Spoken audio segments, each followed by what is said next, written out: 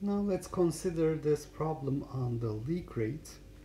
A 1 liter glass bulb contains nitrogen gas at room temperature and atmospheric pressure.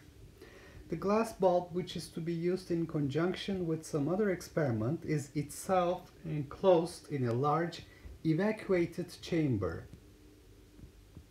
Unfortunately, the glass bulb has, unbeknown to the experimenter, a small pinhole about 10 to minus 5 centimeters in radius. To assess the importance of this pinhole, estimate the time required for 1% of nitrogen molecules to escape from the bulb into the surrounding vacuum.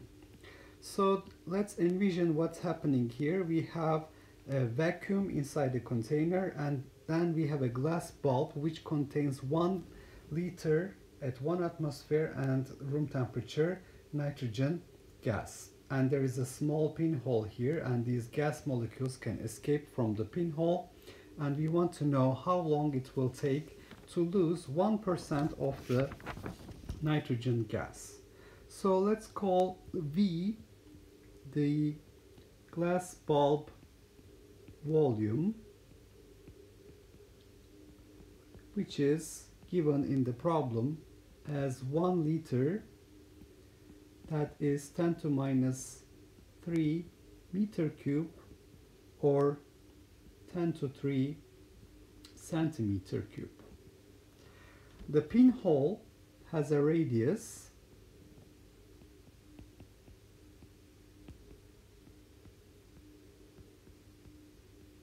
is 10 to minus 5 uh, centimeters so I can calculate the pinhole area now.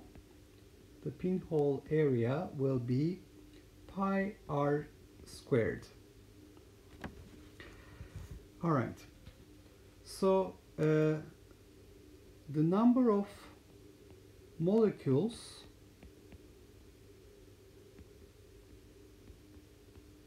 that hit the pinhole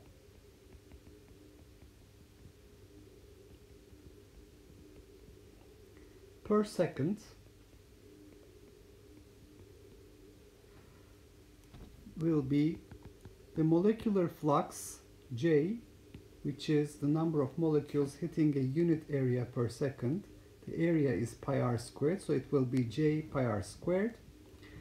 And the number of molecules that will hit the pinhole in time t and in time t the number of molecules that will hit the pinhole not per second in time t will be j times pi r square t. So it's molecular flux times area times the time t. All right so uh, what is the molecular flux? J is for uh, if the pinhole we assume to be on the x-axis J will be 1 over 6 NV bar for all molecules moving in the positive x direction. Then we have uh, 1 over 6 NV bar, the molecular flux, times pi r square times t, the total number of molecules we will be losing in time t, should be 1% of n, where n is total number of molecules, which is equal to the number density n multiplied by the volume v. So this will be equal to number density n volume v divided by 100. That's 1% of the uh, molecules. So n's will cancel and we will reach at an expression for t so the time is 6v divided by 100 v bar pi r squared uh, now for V bar, what should we take? Well, this problem is actually a continuation of the previous problem where we found for V bar uh, we can use this value and uh, that is basically due to the fact that we have 1.15 grams of uh, nitrogen atoms inside this container that has a volume 1 liter. So uh, from the previous problem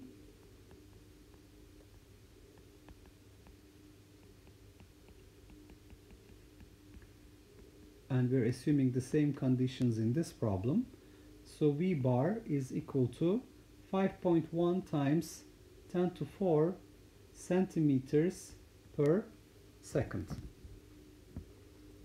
So uh, the time t will be then 6 times 10 to 3 centimeter cube divided by 100 times 5.1 10 to 4 centimeters per second times pi r squared pi 10 to minus 10 centimeter uh, squared. This will give us for the time 3.8 times 10 to 6 seconds uh, and one day is 24 hours and one hours uh, one hour is 60 seconds 60 minutes 60 seconds 3600 seconds so with this you can see that this will be approximately 45 days. So we will see that 1% of the nitrogen molecules will escape in 45 days. So once again, we're looking at the molecular flux. The molecular flux, uh, assuming that we have all directions equally probable and uh, the, a random distribution of molecules at thermal equilibrium, one sixth of the molecules will be moving in plus x direction. So one sixth NV bar is the molecular flux. V bar is the mean speed per molecule. And this is what we found out in our discussion of the elementary kinetic theory.